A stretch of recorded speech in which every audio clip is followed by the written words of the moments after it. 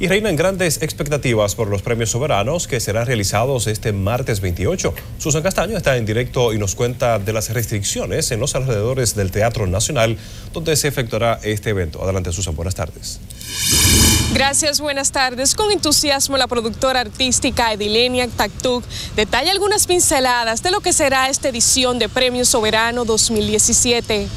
Bueno, mira, este soberano es bien diferente al anterior porque tenemos una sobrepoblación en el backstage, tenemos demasiados músicos, eh, hay siete musicales, pero tienen muchos artistas involucrados, o sea que tenemos todos los camerinos llenos, tenemos camerinos hasta en el parqueo. Eh, estamos, tenemos muchísima gente trabajando. Taktuk también nos contó sobre las particularidades de esta edición de Premio Soberano en cuanto a presentaciones artísticas, invitados especiales y musicales.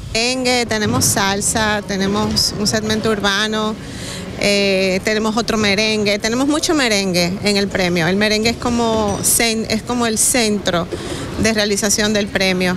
Eh, pero sí también, bueno, los otros. Tenemos una balada, tenemos salsa y, y urbano. Premio Soberano 2017 celebra sus 33 años y parte de sus presentaciones artísticas buscarán destacar el merengue. Cabe destacar que en esta edición de Premio Soberano 2017, toda la música del premio estará bajo la producción de Chichi Peralta y esta edición se caracteriza por contar por grandes avances tecnológicos. De mi parte toda la información, más adelante seguiremos ampliando desde el Teatro Nacional.